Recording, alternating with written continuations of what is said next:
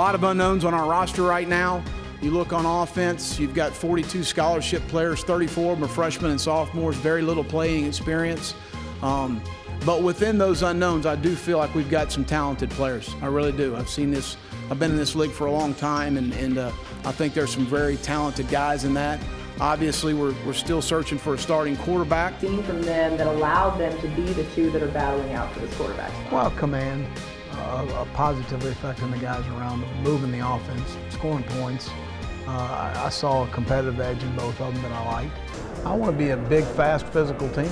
And that's, that's, what, that's what you want to be identified with. It's uh, got the classic overachievers on your football team that understand the work ethic it takes to be successful. What are some of the challenges for the young football team when you have your first three SEC games on the road? We need to be comfortable being uncomfortable. That's something we're going to have to grow used to. To, to, dealing with the two road games with a young football team and how some of these guys are going to respond, I have no idea. Uh, we can't simulate national TV September 1st in fall camp. You need to control your emotions more on the sideline. You know, I think a lot's made of that. That really doesn't matter. At the end of the day, a lot of that's calculated. A lot of that's affecting a player, uh, motivating a unit. Um, and when you're winning and you're a coordinator and you're playing good defense, it's passion and it's energy and it's what we needed. Uh, when you're winning as a head coach and you win 11 games, win SEC Coach of the Year, it's passion, it's energy, it's what we needed. When you don't win a game, it's out of control and, and, and uh, what's the guy doing? So it's all the perception. How much does that equal reality? I think nothing. Finally, Coach, your favorite interview at SEC Media Days was? This one. Yes, we got it. He's got it. Everyone, look, Will Muschamp comes right out here on SEC Media Days rapid fire, and he sticks the landing. He hopes to do the same in Columbia, South Carolina. You got to do the best you can do with, with, the, with, with what you have on your, on your roster. Uh, I've said that you go into a season, we have a lot of unknowns for, for us. It's a new staff, it's a new situation. Um, but I, I, think we've got some very talented players in those unknowns. And I'm excited about the work ethic and the buy in and all the intangible things it takes to be successful. I'm extremely excited about. Um, so, you know, I, there is no three year plan, five year plan. We plan to win now, okay? And uh, that's my mentality. And when we make decisions as far as who's going to be the quarterback or who's going to be the running back or who's going to play defensive end, who helps us win right now? That's the bottom line, and that's what we plan on doing.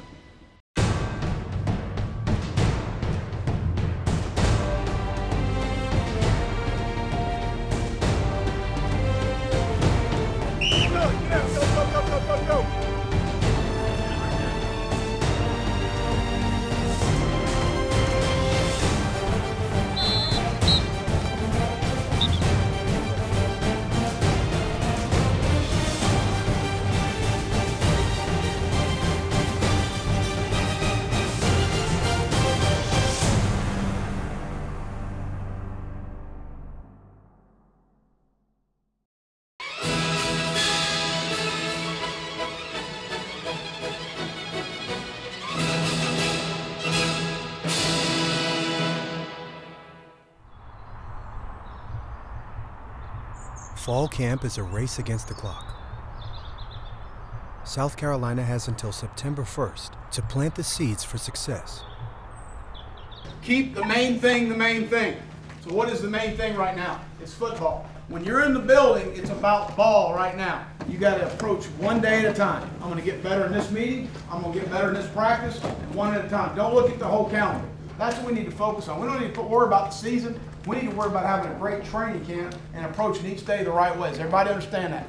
We talk about it all the time. Lead the nation in effort. We are a blue collar organization. Play that way. Lack of focus and effort, you won't see the field. I'll promise you that. I will play a lesser player, a lesser talented player, over a more talented player if he'll play hard. I'll tell you that right now.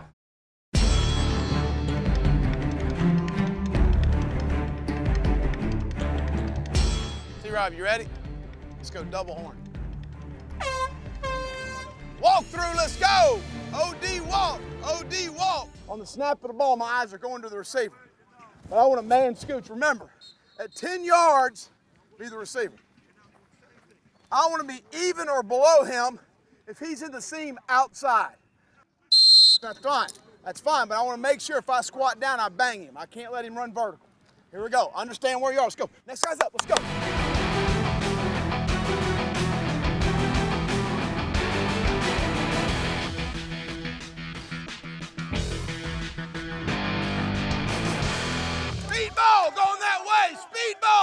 Go. Run where we're going. Let's go, run where we're going. Quit walking around. Let's go. Let's go. Ball's right here. Ball's right here.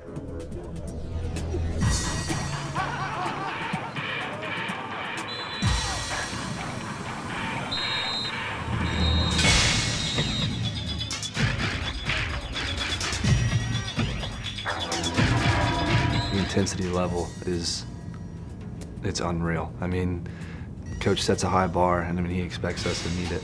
There's he wants nothing less.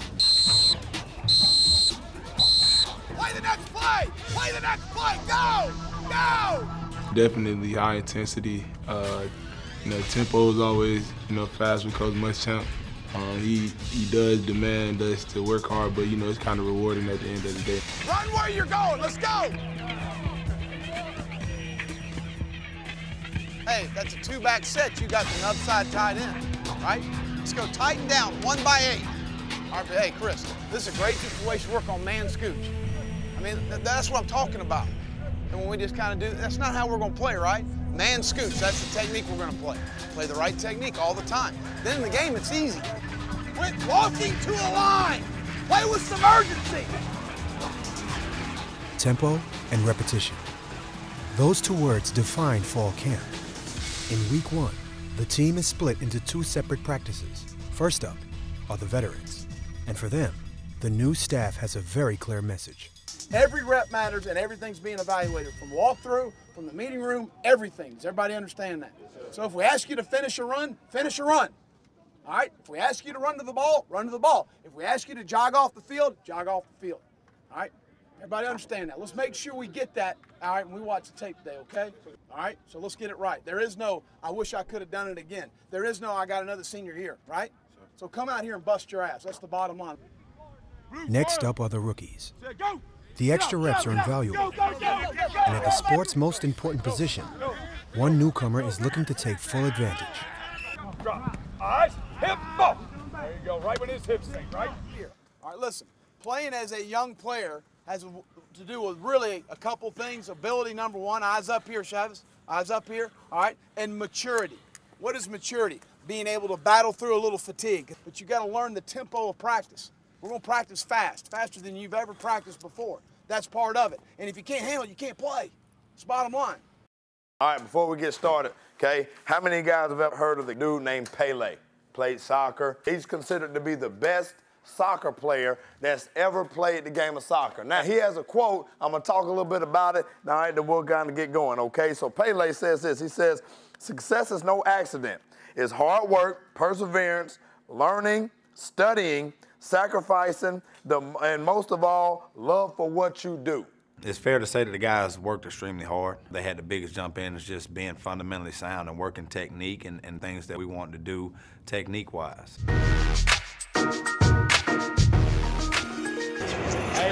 practice starts. All right, with this. Half down. Driving to it. Okay, shoulders over knees over toes, binding arms, cheek to cheek. Tight elbows, jab. Here we go. On me. Hey. Bad. Shoulders down. Don't turn too early. Come out. Bam. All right. All right, stick it. Come out. Step, you're stepping under yourself, man. Definitely got a better grasp and understanding of not so much of what they need to do, but why it's important in the grand scheme of things uh, to do it. There's a lot that we have to make sure that we keep progressing on. So again, the first thing I got to do once I catch the ball straight, like what's the first thing you're gonna do? You're gonna do this and then and then make a move, right? So we want to take that motion out of it. That's better. Good. Still trying to get that right hand over top of it. I just gonna knock the ball down. Get your hand underneath.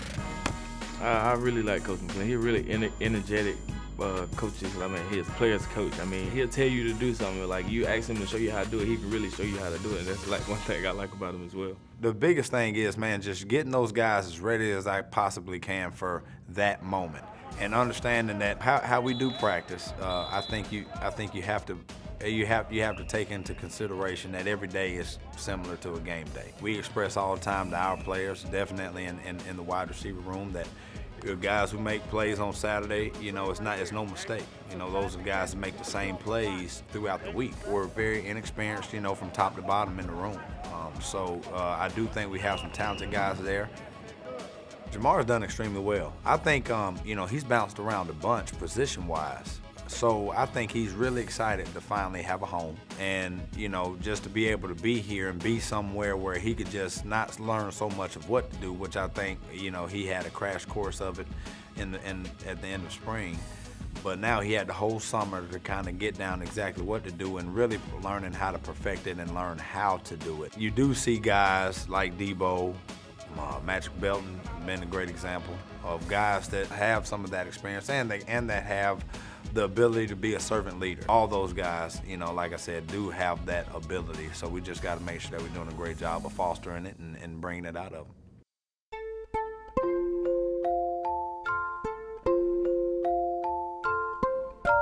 With a 6 a.m. report time and a schedule that stretches late into the evening, an after lunch catnap is a must. As long as you don't mind snoozing alongside 100 of your closest friends. Camp is hard, man.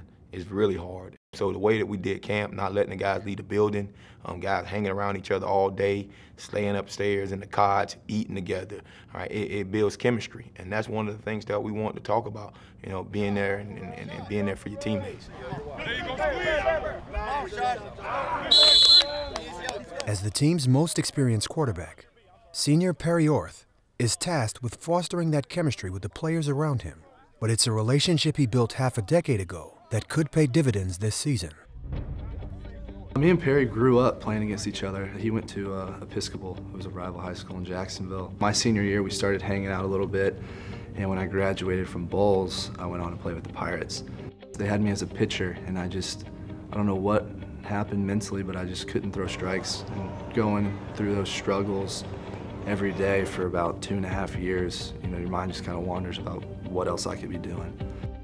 By the end of my third year, me and Perry kind of came in contact. I called him and just asked him, I was like, what, what is football like? And he just kind of convinced me, he was like, man, I think you'd love it. South Carolina will be perfect. We need tight ends.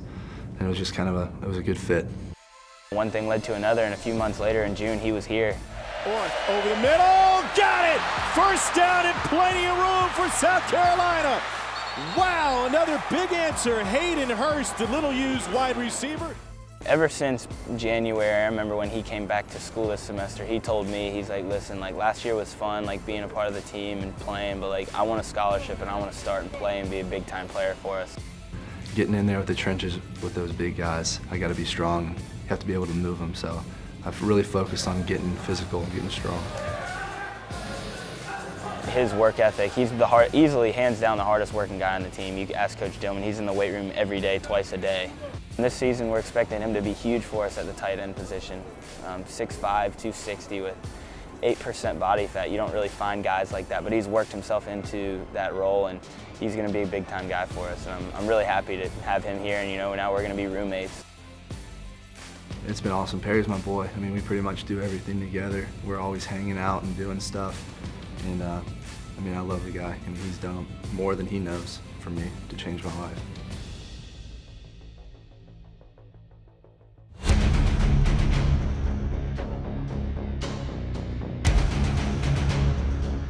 The best reps that you get is game reps or scrimmage reps or reps where there are direct consequences to when you don't do it right.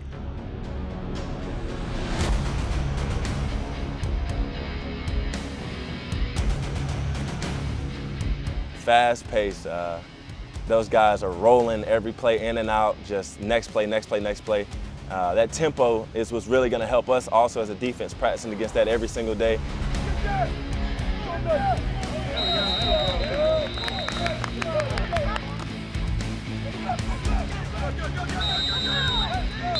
And those are two guys that it's incredible to think that they're 18 years old and I just turned 23 and they're, you know, competing with me and going to have a, a great opportunity to start as well.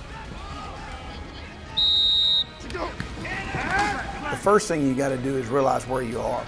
But at the end of the day, there's going to be better days ahead for our football program, and we do know that, and, and we know that moving forward.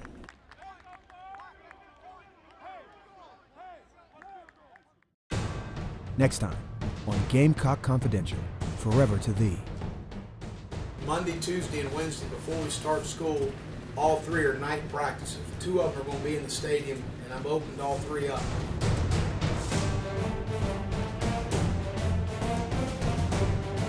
every time I go on the field, I think about them, and I try to play for them as hard as I can. I had a vision. I was like, you know, we need to we need to do something big. And so I was thinking, I was like, why don't we just make a music video?